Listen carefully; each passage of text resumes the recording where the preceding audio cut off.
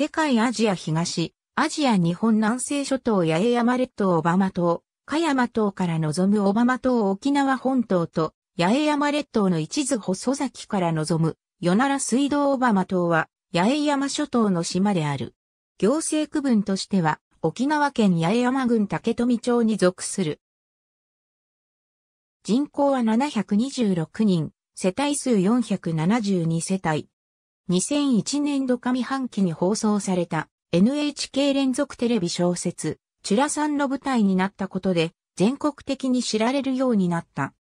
八重山列島のほぼ中央に位置しており、島の最高地点である標高99.8メートルの大岳からは、八重山列島の島々の大半を一望することができる。与那良水道を挟んで西側に隣接する西表島との距離は最強部で約 2km であり、かつて竹富町役場の西表島移転に絡んで架橋が構想されたこともある。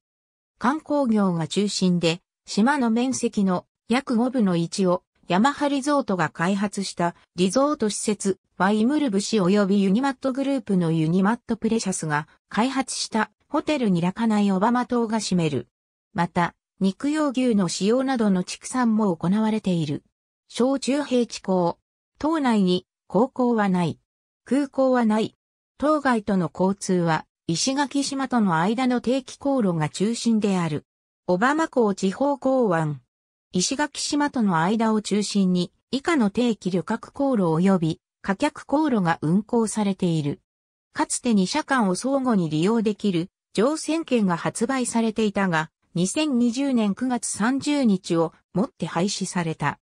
かつては小浜交通が一般路線バスを運行していたが、2007年3月31日に廃止された。大森や住宅、チュラ山で民宿、コアグラショーとして使用された。作中と同じ看板がかけられている。シュガーロード。ありがとうございます。